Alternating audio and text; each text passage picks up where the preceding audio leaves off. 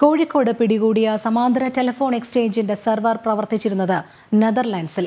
ചൈനയിൽ നിർമ്മിച്ച ഉപകരണങ്ങളും സോഫ്റ്റ്വെയറുമാണ് ഇതിന് ഉപയോഗിച്ചത്. വൻതോതിൽ വിദേശ ഫോൺ കോളുകൾ നടത്തിയതായും സൂചനയുണ്ട്.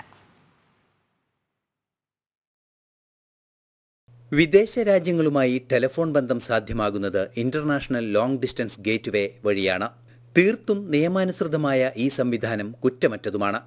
ഇതിന് ബദലായി റൂട്ടുകൾ സൃഷ്ടിക്കുകയാണ് സമാന്തര ടെലിഫോൺ എക്സ്ചേഞ്ചുകൾ. ഇത്തരത്തിൽ വിനിമയം ചെയ്യപ്പെടുന്ന വിവരങ്ങൾ രാജ്യസുരക്ഷയുടെ ഭാഗമായി പോലും പിന്തുടരാനാവില്ല.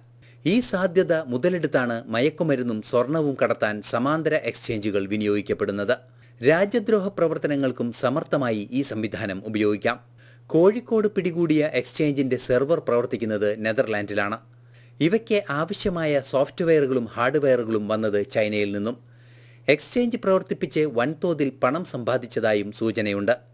ഹവാല ഇടപാട് വഴിയായിരിക്കും പണം കൈമാറ്റം മുഴുവൻ നടന്നിരിക്കുക. കോഴിക്കോട് ടെലിഫോൺ എക്സ്ചേഞ്ചുമായി ബന്ധപ്പെട്ട് പിടിയിലായ എല്ലാവരെയും കേന്ദ്ര ഏജൻസികൾ ചോദ്യം ചെയ്യുന്നുണ്ട്. വിശദമായ അന്വേഷണത്തിലൂടെ മാത്രമേ ടെലിഫോൺ എക്സ്ചേഞ്ചിന് പിന്നിലെ രാജ്യദ്രോഹ പ്രവർത്തനങ്ങൾ പുറത്തു കൊണ്ടുവരാൻ സാധിക്കുകയുള്ളൂ. ജനം കോഴിക്കോട്.